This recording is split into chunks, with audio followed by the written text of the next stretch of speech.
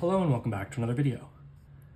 In this problem, we're told that the signum or sign function, denoted by SGN, is defined by signum of x is equal to negative 1 if x is less than 0, it's equal to 0 if x is equal to 0, and it's equal to 1 if x is greater than 0.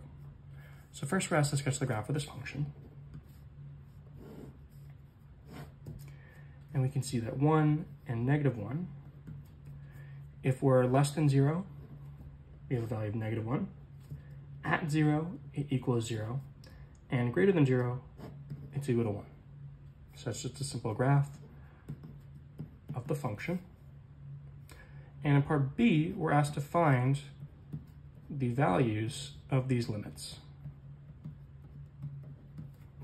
So first, the limit as the function approaches 0 from the right.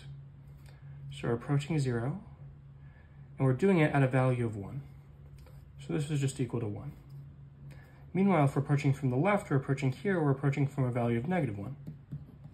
And since the limit from the left and the right do not equal each other, because 1 doesn't equal negative 1, the limit as x approaches 0 in general, dne, does not exist. However, the limit of the absolute value of this function does exist, because the limit um, as x approaches 0 from the right, the absolute value of 1 equals the absolute value of the limit from the left, negative 1, because 1 equals 1.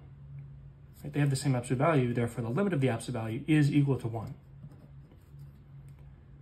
Right, you can see this by graphing the absolute value, right?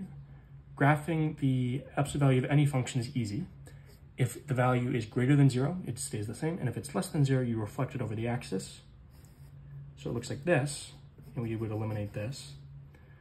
And here you can see very clearly that if this is our new function, as we approach zero, we approach a value of one. Therefore, the value, the answers in B are one, negative one, does not exist, and one.